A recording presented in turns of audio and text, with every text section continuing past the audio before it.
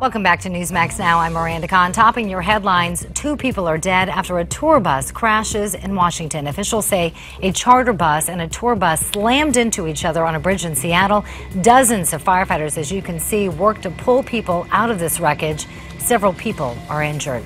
The White House says it will veto any spending bill that strips funding from Planned Parenthood. Earlier today, Senate Democrats shot down a temporary measure that would have removed all funding from Planned Parenthood. They want the GOP to introduce a clean bill without any language targeting that group. Congress has until next week to pass a spending bill to avoid a government shutdown.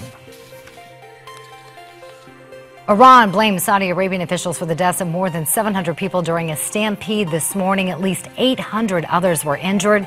Muslim pilgrims were walking to a ceremony near Mecca in Saudi Arabia where there was a surge in the crowd leading to that stampede.